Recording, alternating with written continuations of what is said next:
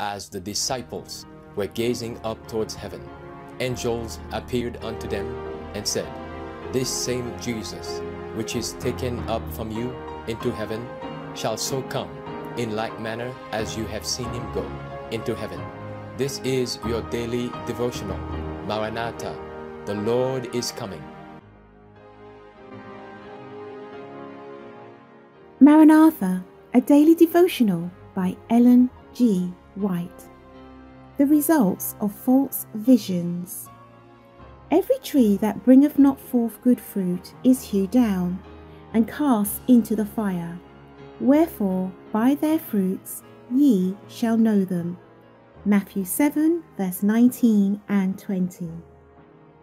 Several, now living, are skeptics, have no belief in the gift of the church, no faith in the truth, no religion at all. Such, I have been shown, is the sure result of spurious visions. Satan is constantly pressing in the spurious to lead away from the truth. The very last deception of Satan will be to make of none effect the testimony of the Spirit of God.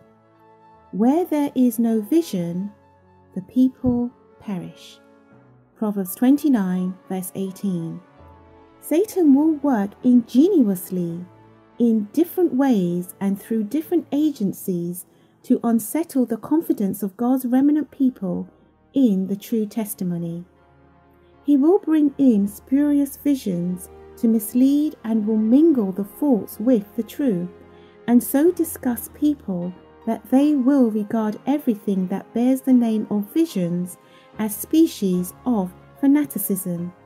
But honest souls, by contrasting false and true, will be enabled to distinguish between them.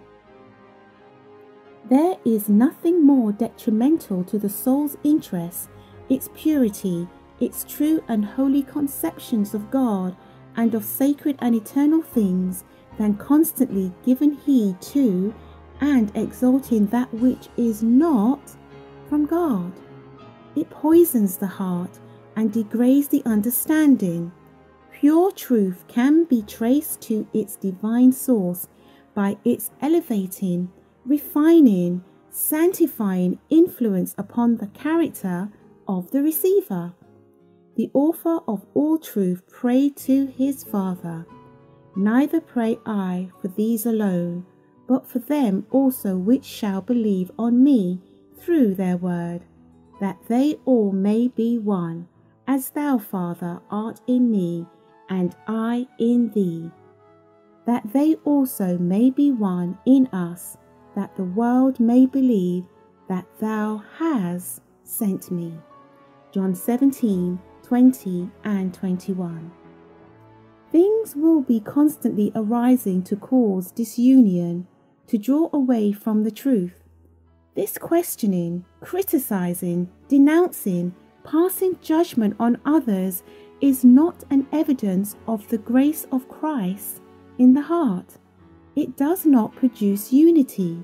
Such work has been carried on in the past by persons claiming to have wonderful light when they were deep in sin.